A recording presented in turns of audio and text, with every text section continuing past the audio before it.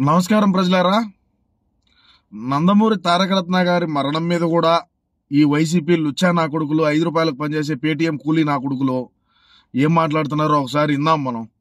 వాళ్ళందరినీ ఏదో రకంగా వెళ్ళిపోయారు పాపం వాళ్ళు. తారక రత్న రాజకీయాల్లోకి వచ్చి ఏదో చేద్దాం అనుకున్నాడు వెళ్ళిపోయాడు. ఎన్టీ రామారావు గారిని అలాగే చేశారు. హరికృష్ణ గారిని అలా హరికృష్ణ గారిని అలాగే చేశారు. లేకపోతే ఆ కుటుంబ సభ్యుల్లో ఎవరైనా దయచేసి జూనియర్ ఎన్టీఆర్ మాత్రం జాగ్రత్తగా ఉంచండి. మీకోసం ప్రచారం చేసి ప్రాణాలు అంచులు దాకెళ్ళారు. ఒరే లుచ్చా పకీర్ నా కొడక? ఇది సమయమా? తారకరత్న గారు ఏ విధంగా మరణించినారు అనేది రాష్ట్ర ప్రజలకు అందరికి కూడా తెలుసు. నువ్వేం ఒకడు మొండమోపాల? నువ్వు వచ్చేమేడే మాట్లాడబల్లే. నువ్వు చెప్పే మాటలు ప్రజలు ఎవరు నమ్మరు. సరేరా నువ్వు ఇప్పుడు అంటున్నావు?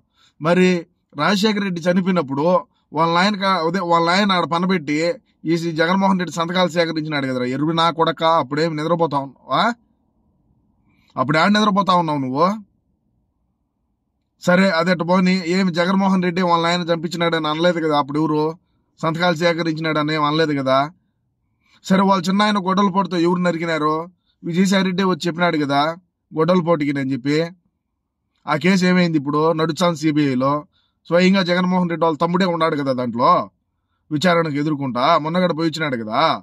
వాటి మీద ఎందుకు మాట్లాడారా పకీర్ నా కొడక? ఇది సమయమారా అసలు మాట్లాడేదానికి?